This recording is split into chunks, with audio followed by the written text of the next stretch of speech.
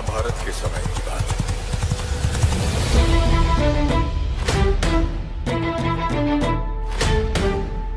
ये अपने अधिकारों के लिए लड़ नहीं सकते ना? इसलिए महाभारत फ़िल्म कब तक होगी रिलीज़? और अब कितना करना पड़ेगा इंतज़ार? एस एस राजमौली का सीक्रेट बजट प्लान कैसे होगा सक्सेसफुल? महाभारत के बारे में हम सभी जानते हैं। महाभारत की रचना महर्षि वेद व्यास ने की थी, यह पाँचवें वेद शास्त्र के तौर पर जाना जाता है और हिंदू संस्कृति के लिए एक खास और इम्पोर्टेंट बुक भी है। और इसी से भगवत गीता का जन्म हुआ है। महाभारत को बड़े पर्दे पर लाने की तैयारी की जा रही है। इसमें बॉलीवुड की बड़ी बड़ी हस्तियों को रोल दिया गया है, जिससे महाभारत फ़िल्म और भी ज़्यादा फ़ेमस हो रहा है। इस फ़िल्म में स्पेशल इफेक्ट्स को बहुत ही बेहतरीन तरीके से दिखाया जाएगा। इस फ़िल्म में बॉलीवुड की मशहूर हस्तियाँ काम करेंगी, जैसे आमिर खान, ऋतिक रोशन, प्रभास, अजय देवगन, अमिताभ बच्चन, फरहान अख्तर और दीपिका पादुकोण जैसे बड़े बड़े कलाकार इसमें शामिल हैं।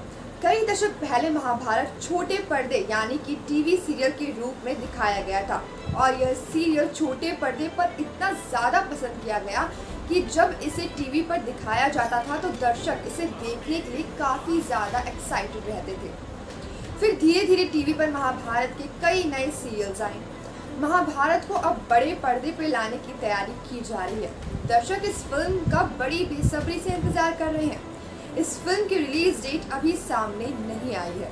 एक इंटरव्यू में डायरेक्टर राजमौली ने अपने ड्रीम प्रोजेक्ट महाभारत के बारे में खुलासा किया। राजमौली ने इस दौरान महाभारत की स्टार कास्ट को लेकर बात की। उन्होंने यह भी बताया कि क्या वह इस ड्रीम प्रोजेक्ट में जूनियर एनटीआर और रामचरण को कास्ट करेंगे?